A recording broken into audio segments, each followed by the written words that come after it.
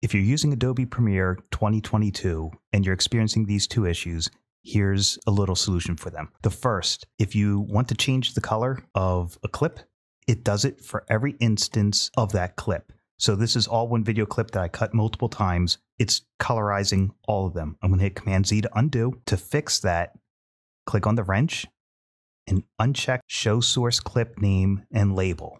So now, if I choose that one clip and I want to colorize it green, just that one cut is green. This is useful for me because when I'm editing, I like to go labeling my clips red, yellow, and green.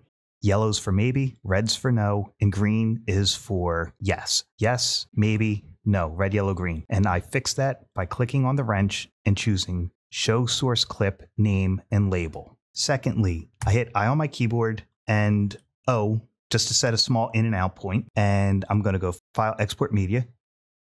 I could also hit the Export tab here. Now, if you need to go back to your timeline and edit, this is no longer a pop up window. It's one big self contained window inside it. Click on Edit to get back to your timeline and continue editing.